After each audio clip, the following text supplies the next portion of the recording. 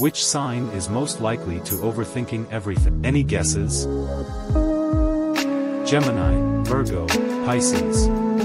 For know more about your day install horoscope Rashifal.